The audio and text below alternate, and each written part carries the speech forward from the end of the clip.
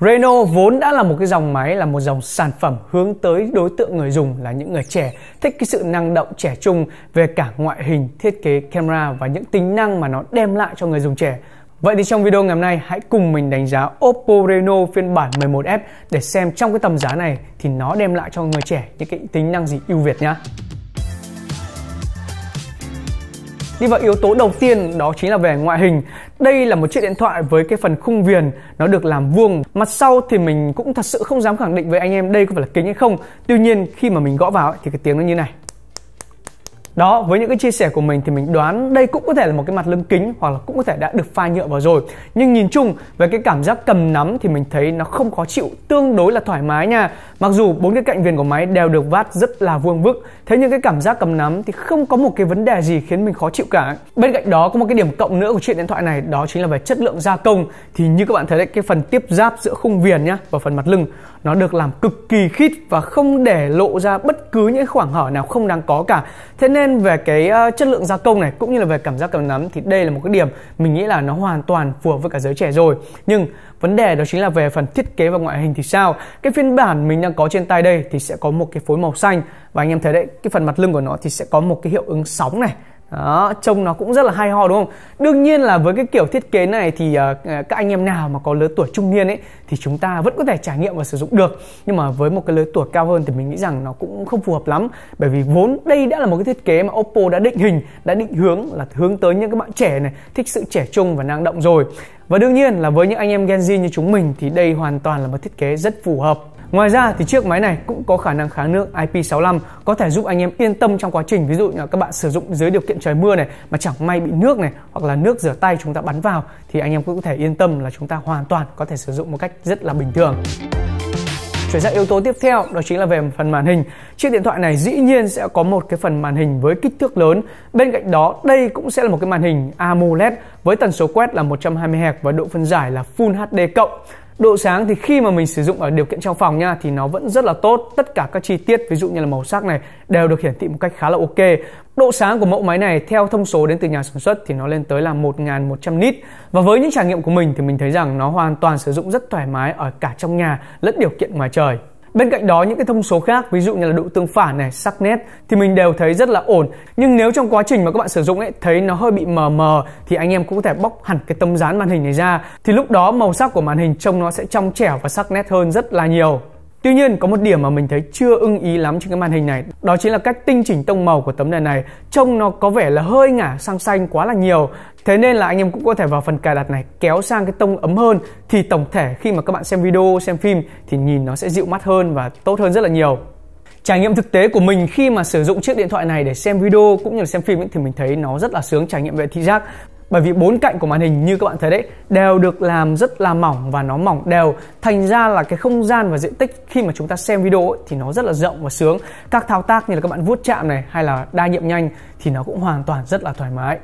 Đó là yếu tố liên quan tới màn hình thì mình đã rất là ưng về phần màn hình của chiếc điện thoại này rồi. Nhưng còn những yếu tố khác như là về âm thanh thì có lẽ là chiếc điện thoại trong tầm giá khoảng 10 triệu này thật sự chưa đem tới cho mình một cái trải nghiệm quá là ngon dĩ nhiên là chúng ta vẫn sẽ được trang bị một loa đủ để anh em có thể nghe và trải nghiệm nó rất đã rất to.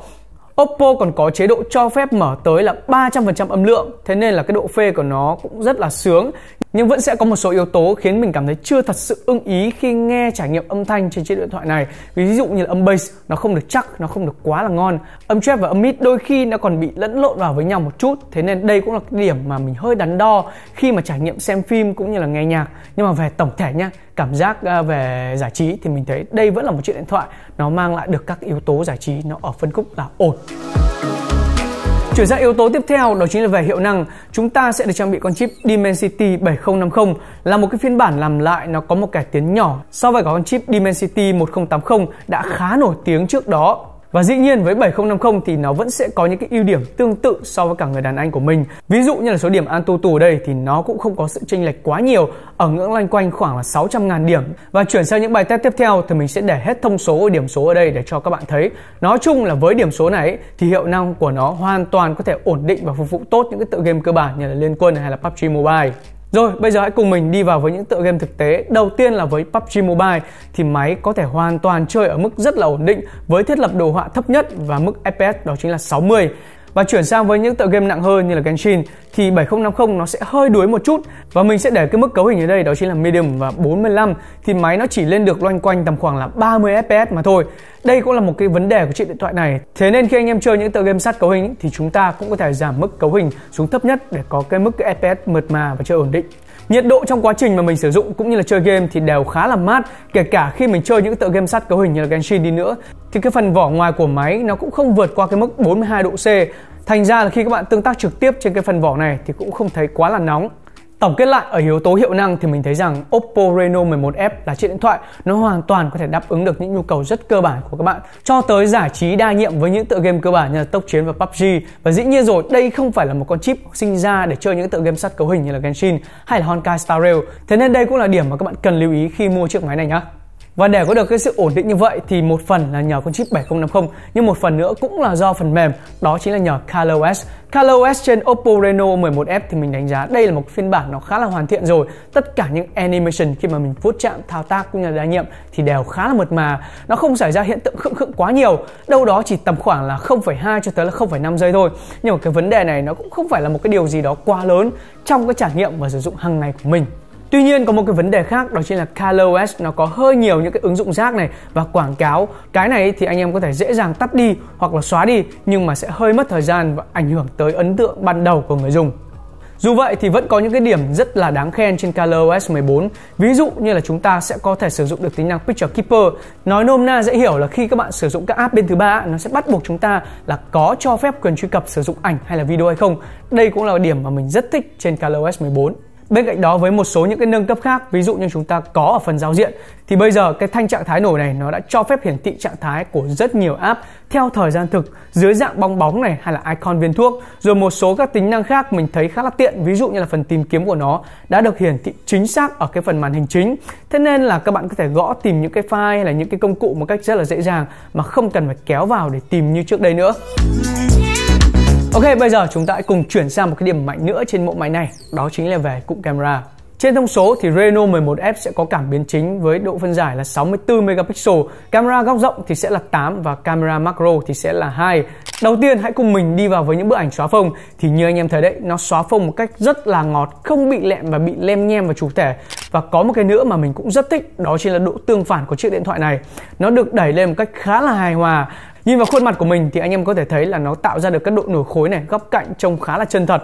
Và một điểm nữa mà chiếc máy này mình thấy tương đối là khác so với cả những chiếc điện thoại Oppo khác Đó chính là nó không còn làm trắng da và mịn da một cách quá là giả chân nữa. Đây, tất cả những cái bức ảnh này thì nó đều được làm mịn một cách khá là hài hòa. Các chi tiết hay là da mặt của mình thì đều được thể hiện khá là rõ. Đây là một cái điểm mà mình khá là thích bởi vì khi chụp ảnh ra với những bức ảnh chân thật như thế này Thì mình hoàn toàn có thể sử dụng các app bên thứ ba để tinh chỉnh về màu sắc này cũng như là về độ chi tiết. Thì lúc đó up lên mạng xã hội thì mình sẽ cảm thấy nó khoái hơn và sướng hơn rất là nhiều So với cả một bức ảnh mà đã sử dụng dụng thuật toán, chỉnh sửa làm cà mịn mặt này hay làm trắng da thì điều đó là cái điều mà mình nghĩ rằng các bạn Gen Z bây giờ không thích bằng cái việc chúng ta có thể tự chỉnh sửa và tự áp ảnh lên mạng xã hội bằng chính những cái công cụ mà chúng ta có.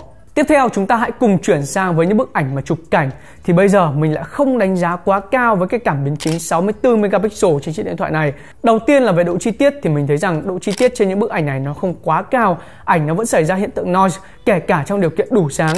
Mình nghĩ rằng Oppo cần cải thiện điều này với một cái cảm biến lớn hơn hoặc là chất lượng hơn. Một điểm nữa mà chiếc điện thoại này mình nghĩ rằng nó cũng cần phải cải thiện đó chính là khả năng chụp ảnh thì rất là ổn, rất là ngon rồi đúng không? Nhưng khi chuyển sang chế độ quay video với cái khả năng chống rung thì Reno 11F lại không thực hiện quá tốt. Nếu mà mình quay video ở độ phân giải tối đa là 4K 30 thì video cho ra nó không được ổn định lắm. Còn nếu mà anh em muốn quay video này, quay phim này, các bạn nên để xuống độ phân giải là Full HD 1080 thì lúc này chúng ta quay video cái khả năng chống rung của nó sẽ ổn hơn khá là nhiều.